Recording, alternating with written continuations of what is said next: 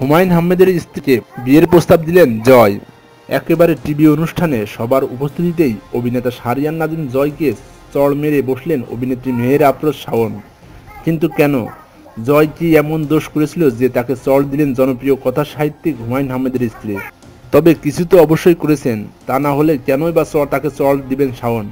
তবে অবাক হবারই কথা, শাওন হাত দিয়ে জয়কে চড় মারেননি, চড় দিয়ে এবার সেটা নিজের ফেসবুক লাইভে এসে জানিয়ে দিলেন দর্শকদের। নিজের ফেসবুকে ওয়ালে কিংবা ফেসবুক লাইভে নয়, বলা হচ্ছে টিভি অভিনেতা শাহরিয়ান নাজিম জয়ের উপস্থাপনায় একটি বেসরকারি টিভি চ্যানেলের একটি অনুষ্ঠানের কথা। সেন্স অফ হিউমার নামের এই অনুষ্ঠানটিতে অতিথি হিসেবে হাজির ছিলেন শাওন। আর এই অনুষ্ঠানে উপস্থাপনা করেছেন জয়। এক পর্যায়ে শাওনকে বিয়ের প্রস্তাব দিয়ে বসেন। এই প্রসঙ্গে শাওন বলেন সেন্স অফ হিউমার যিনি উপস্থাপক, তিনি চেষ্টা করেন কড়া কড়া প্রশ্ন করে অতিথি, অতিথিকে বিপদে ফেলতে, বিপদে ফেলেও দেন কিছুটা। যেমন কিছু কিছু প্রশ্নের উত্তর আমরা যেভাবে দিতে চাই, সেভাবে অন স্ক্রিনে দেওয়া যায় না। অনেক রূঢ় সত্য সব সময় বলা যায় না। সেই জায়গা থেকে আমার মনে হয়, আজকে আমি অনেক সত্য বলেছি, অনেক বেশি বলে ফেলেছি।